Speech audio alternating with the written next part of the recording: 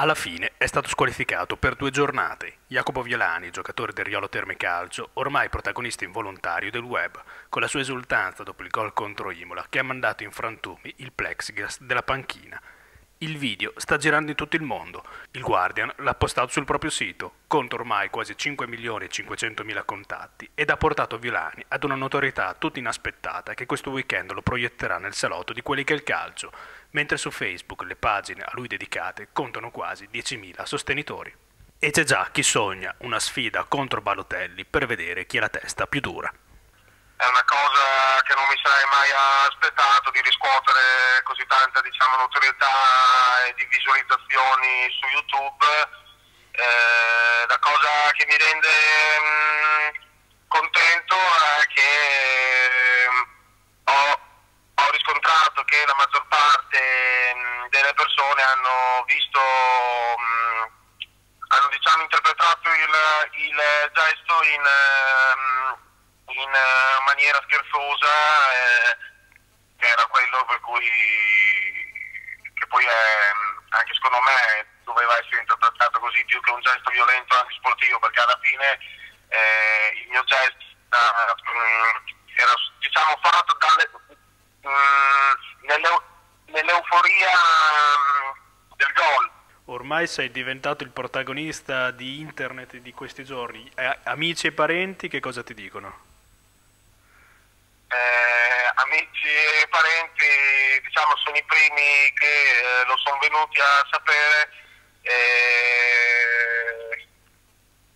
e niente, a parte mia mamma che l'ha saputo la mattina dopo visto che non gli avevo ancora raccontato il fatto. Molti la, la prendono sul ridere, molti amici chiamavano e si mettevano a ridere talmente tanto che non riuscivano nemmeno a parlare e quindi è questo più o meno. Il, le prime chiamate sono state eh, una risata continua di molte risate o oppure del tipo ti rendi conto che hai fatto il giro del mondo, ti rendi conto, è incredibile, tipo delle cose così. Ma eh, raccontaci un attimo invece i tuoi momenti subito dopo il gol che è avvenuto dopo un, peri- un lungo periodo fuori dal campo per infortunio.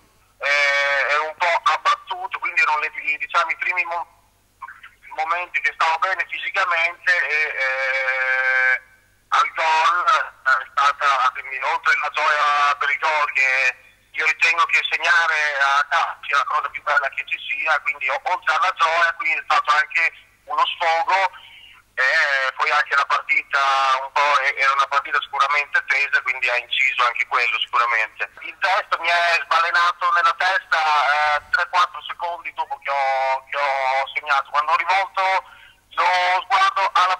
nella mia testa ci ho detto adesso vado lì e do una testata alla panchina sicuramente non, mi, non, non avrei mai immaginato di finire dall'altra parte della panchina quindi non avrei mai immaginato di sfondare completamente la panchina con la testa. E invece quando hai visto il cartellino rosso dell'arbitro, lì cosa hai pensato? Quando ho visto il cartellino rosso dell'arbitro ne ho, ne ho preso atto e diciamo lì sicuramente ci sono rimasto male perché come per, per, per prima cosa mancavano ancora 30 minuti alla fine della partita, quindi probabilmente lasciare i miei compagni in un uomo in meno non, non, non è stata una bella cosa, anche se comunque alla fine dopo la partita l'abbiamo vinta, quindi...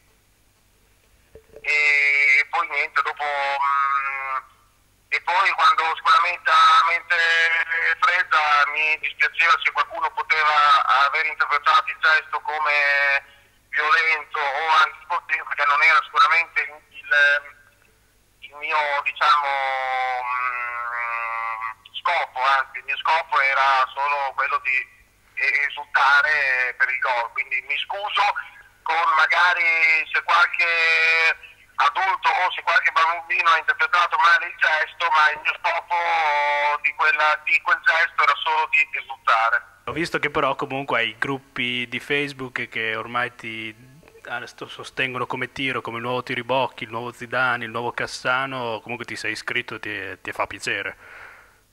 Sì, sicuramente sì, perché come, come ho detto prima, molti l'hanno preso come un gesto simpatico, un gesto cogliente e quindi sicuramente questo mi fa piacere.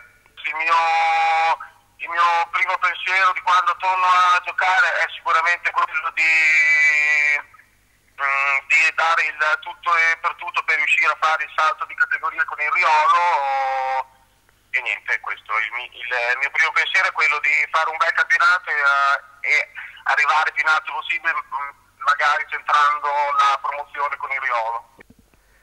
Federico Lega per Faenza Web TV.